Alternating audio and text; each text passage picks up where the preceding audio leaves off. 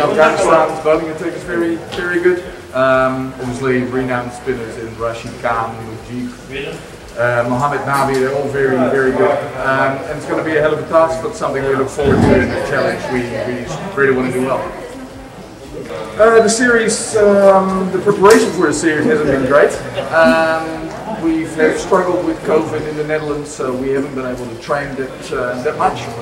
Um, but yeah, we've got a few days here to prepare uh, to get used to the Qatari conditions. Um, so preparation's been a bit tough, but that's what you got to deal with in these uh, these types uh, situations this year. So uh, yeah, we've got to make the best of it. Uh, yeah, we've got a lot of lot of young faces here, new faces, which is I think it's going to be a good thing. Um, it's going to be a massive challenge for them coming up against the world's best, um, and, and, a challenge that uh, not even the best in the world even uh, can do perfectly all the time. So yeah, but for them the opportunity is great, uh, a great opportunity for us all, and yeah, something like I said we, we look forward to, and um, yeah, we'll see where we are uh, at the end of the series.